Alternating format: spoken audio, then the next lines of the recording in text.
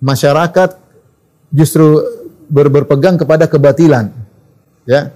Ini dukun pernah benar sekali, seratus kali ngeramal salah. Cuma ngeramal sekali benar. Itu selalu diingat. Benarnya dukun diingat-ingat sehingga dukun tersebut jadikan pegangan. Orang datang meskipun dia ngeramal sudah seratus kali salah. Tapi karena dia pernah ngeramal sekali benar, semua orang percaya sama dia.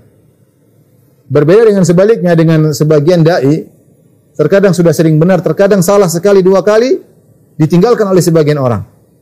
Kebalik.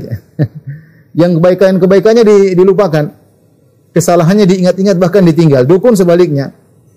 Dia uh, benar sekali dua kali ya. Benar sekali dua kali, salahnya seratus kali, yang diingat benarnya tersebut sekali dua kali tersebut.